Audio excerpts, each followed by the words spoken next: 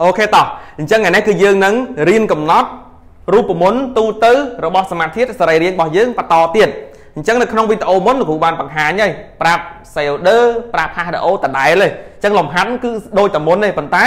នឹងមានលក្ខណៈពិសេសបន្តិចនៅក្នុងលំហាត់របស់យើងអញ្ចឹងបើចង់ដឹងតើតាមដានតើចប់បានដឹងថាលក្ខណៈពិសេសនៃលំហាត់ហ្នឹងស្អីគេលំហាត់ដូចតែគ្នាហ្នឹងអូខេតោះតាមដានទស្សនាបន្តទៀតតោះ អញ្ចឹងអូខេតោះអញ្ចឹងគឺយើងរៀនកំណត់រូបមន្តទូទៅរបស់សមាធិសរីរាង្គ A ដែលសមាធិសរីរាង្គ A របស់យើង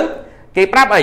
គេប្រាប់ថាគេពេលដែលធ្វើចំហេះទៅ គេទទួលបាន folder គេទទួលបានទឹកអញ្ចឹងដើម្បីកំណត់រូបមន្តទូទៅរបស់សមាធិសរីរាង្គណាមួយគឺអូនត្រូវធ្វើម៉េចកំណត់ថា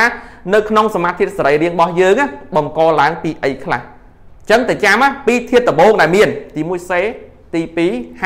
និងអាចធាតុទី3ជាអុកស៊ីសែនឬក៏អាចធាតុទី4ហ្នឹងទៅណាអញ្ចឹងឥឡូវយើងតាមដានទាំងអស់គ្នាអញ្ចឹងវិធីកំណត់ទី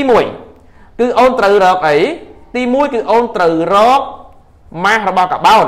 ព្រោះនៅពេលដែលអូនរកម៉ាស់របស់កាបោនគឺអូនអាចកំណត់បានហើយថាកាបោនរបស់យើង មាននៅក្នុងសមាធិសរីរាង្គ A ដែរតោះអញ្ចឹងដើម្បីរកម៉ាស់កាបោនគឺអូនត្រូវយកម៉ាស់របស់ Sailor ចែកជាមួយនឹង ម៉ាស់ម៉ូលរបស់ Sailor គុណមួយអីគុណជាមួយនឹង10 12តិចអត់ដឹងថាអានេះចែកគ្នាឃើញអីឃើញចំនួនម៉ូលណាចំនួនម៉ូលគុណជាមួយនឹងម៉ាស់កាបោនម៉ាស់ម៉ូលកាបោនចេញម៉ាស់របស់កាកាបោនហើយណាអញ្ចឹងអូនគុណមកអញ្ចឹងម៉ាស់របស់ Sailor ស្មើប៉ុន្មាន13.2ចែកជាមួយនឹងម៉ាស់ម៉ូលតិចអត់ចេះបូកទេស្មើប៉ុន្មាន44គុណជាមួយនឹង10 12អញ្ចឹងពេលដែលអូនគុណមកគឺឃើញប៉ុន្មាន3.56ក្រាមអញ្ចឹងបញ្ជាក់ថានៅក្នុងសមាធិសរីរាង្គ A របស់យើងគឺអីគឺមានសេមួយហើយទៅរកអីទៀតរកហាស់មួយទៀតព្រោះនៅក្នុងសមាធិសរីរាង្គ A នឹងអាចមានហាស់មួយទៀតមិនមែនមិនអាចទេគឺត្រូវតែមានតែម្ដងបើអត់មានមិនមែនជាសមាធិសរីរាង្គទេតោះអញ្ចឹងអូនរើអីរើម៉ាស់របស់ហាស់មួយទៀត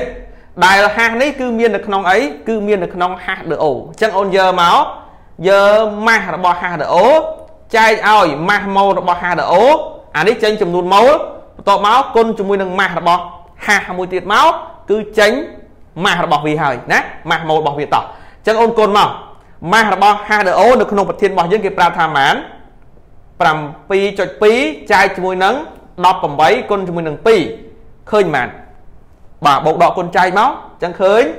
0.8 8ក្រាមអញ្ចឹងយើងរកឃើញមិនអញ្ចឹងហីរកឃើញកំណត់ថានៅក្នុង A របស់យើងមានអីនៅក្នុង A របស់យើងមាន C នៅក្នុង A របស់យើងមានហាអញ្ចឹងយើងចាប់ផ្ដើមទៅរកធាតុទី3ទៀតថាតើធាតុទី3នេះគឺជាអី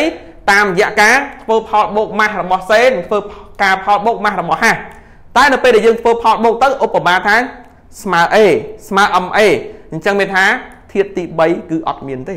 តែបើអូនធ្វើផលបូករវាង C និង H ទៅពេលអូនធ្វើផលបូកទៅឃើញវាតូចជាង MA បញ្ជាក់ថាមានធាតុទី3គឺជាអុកស៊ីសែនអញ្ចឹងអូនសាក់ធ្វើផលផលបូកណាអញ្ចឹងយើងដាក់មកដោយ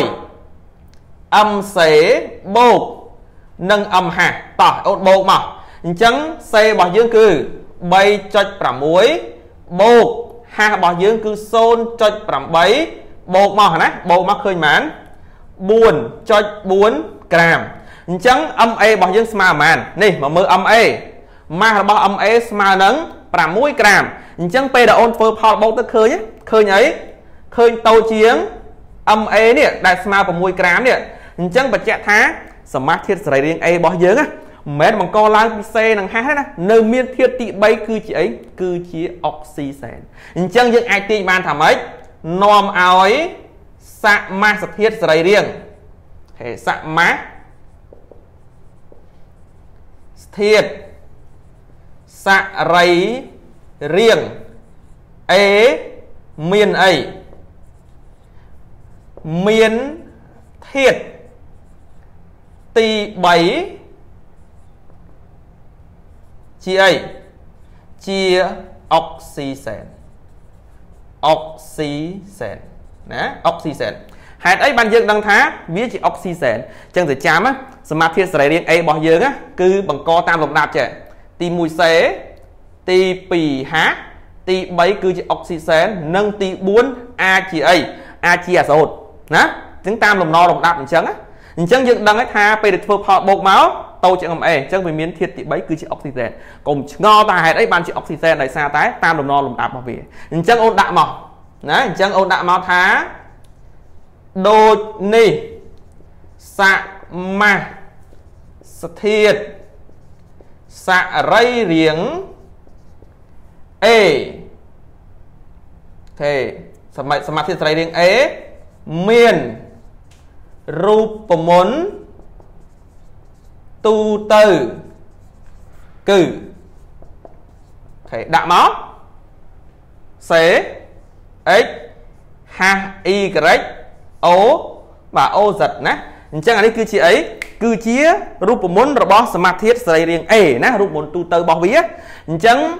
ចំពោះវីដេអូនេះមានតែប៉ុណ្្នឹងទេអញ្ចឹងគ្នាយើងមានចម្ងល់អីអត់បើមានចម្ងល់អាចសួរបន្ថែមទៀតបានណាអូខេអញ្ចឹងនឹងជួបគ្នានៅក្នុងវីដេអូក្រោយបន្តទៀតណាអញ្ចឹងសូមអរគុណច្រើន អរគុណបងប្អូនអរគ្នាដែលតាមដានវីដេអូរបស់លោកគុណអ្នកគ្រូតាំងពីដើមរហូតដល់ចប់ហើយបងប្អូនកុំភ្លេចតាមដានលើនៅ page Facebook Startup Community ដែលបងប្អូនទទួលបានវីដេអូជារៀងរាល់ថ្ងៃហើយកុំភ្លេចដាក់ Cipher ទាំងអស់គ្នាហើយលើពីនេះទៅទៀតបងប្អូនចូលរួមនៅក្នុង channel Telegram តាមរយៈ link ខាងក្រោមដែលទទួលបានគ្រប់មុខវិជ្ជាហើយមានសំណួរងាយងាយកាន់តែច្រើនជាពិសេសគឺបងប្អូនទទួលបានវិធីសាស្ត្រក្នុងការរៀនសូត្រឲ្យកាន់តែពូកែហើយជាចុងក្រោយជូនពរឲ្យបងប្អូនទាំងអស់គ្នា មានសុខភាពល្អជាឆ្ងាយពីជំងឺ Covid-19